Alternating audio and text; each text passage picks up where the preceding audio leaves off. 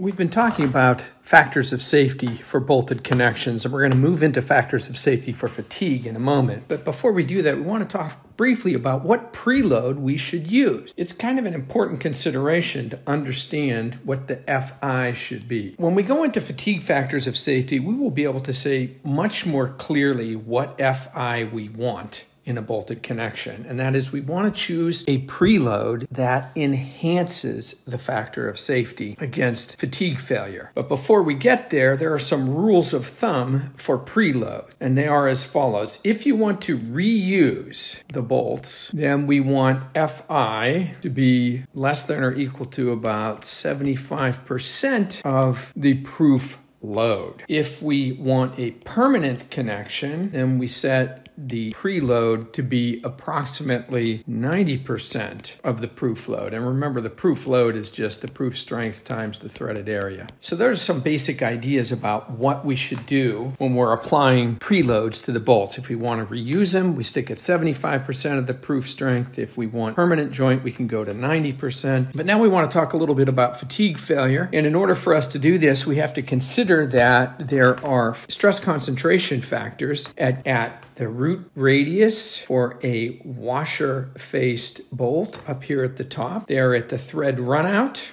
and there where the thread goes into the nut at the bottom side. So there are high stresses in those regions, and failure is likely to occur in one of those places. Most of the failures occur down here at the, the nut. When we apply a load to a bolted connection, we've already talked about how there is load sharing between the compressed member and the bolt itself. And now we want to sort out how we're going to take advantage of that load sharing to prevent fatigue failure of the bolts. Now you can imagine that if we have to figure out what the stress concentration factors are at each of these three locations, and we have to determine where it is most likely to fail in a given bolted connection, we have to find a fully corrected endurance strength as well. And that can be hard to do. Lucky for us, there are some values of fully corrected endurance strength out there for both the SAE and the ISO grade bolts listed in table 817 from Shigley. So if we can use these fully corrected endurance strengths, then we don't have to worry about stress concentration factors and we also don't have to worry about Marin factors when we try to determine what the endurance strength would be. So this is the best case scenario. If we have fully corrected endurance strengths, we can use those immediately in our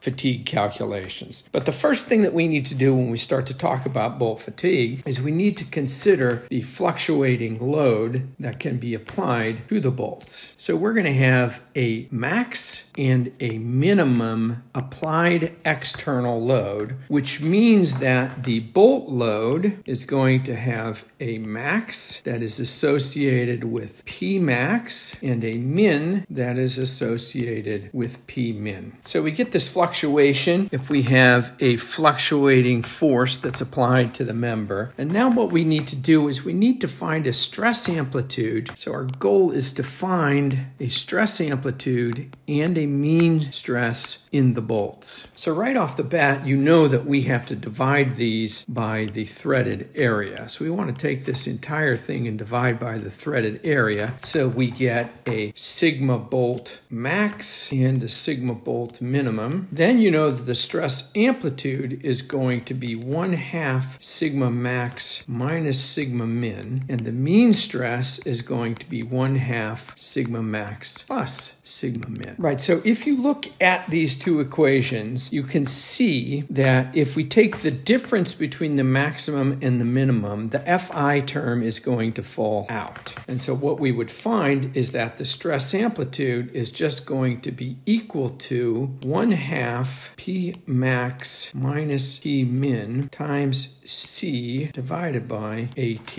Well, that would simply be equal to CPA divided by 2AT, where the load amplitude is 1 half P max minus P min. So if we do that calculation, we find that the stress amplitude is just given by C times PA divided by AT, where PA is as given before. The mean stress is going to be 1 half sigma max plus sigma min. And so the mean stress is going to be equal to Fi over At plus C over At times P mean. And this is just sigma i plus CP mean over AT, where P mean is simply 1 half P max plus P min. So if we have this mean stress and the stress amplitude, then we can go on to a Goodman diagram. Where We've taken the time to carefully calculate both our stress amplitudes and our mean stresses. We found our stress amplitude right here, and we found that our mean stress was given by this equation here. We plot that mean stress and that stress amplitude on a Goodman diagram. The Goodman diagram allows us to determine a fatigue factor of safety by correcting for the mean stresses that are applied. You will recall that we have an alternating stress axis, sigma A, plotted against a mean stress axis, sigma M. We truncate the mean stress at the ultimate tensile strength of the material, and we truncate the alternating stress at the endurance limit for the material. Now we come out here for our bolt and we realize we are starting at a preload of Fi over At. We then apply additional load, and remember that additional load is a fraction of the applied load, and we have already calculated what that mean applied load is. So we move over in this direction to enhance the mean stress, and we come up in this direction with a stress amplitude that identifies point B, and this represents a load line for proportional increases in sigma m and sigma a. We are trying to find where that load line intersects the Goodman line. So we need the equation for the Goodman line and we need the equation for the load line. We set those two equal to each other so that we can find the stress amplitude associated with point C. We divide that stress amplitude by the stress amplitude that we are applying with the external load applied to the bolted member. We take the ratio of those two, a ratio of SA to sigma A. Sigma A is what we are applying to the bolt. SA has to do with the intersection of the Goodman line. The load line is easy to find. It has a slope of sigma A, that's the rise, over the run, which would be sigma M minus sigma I. So this is the slope.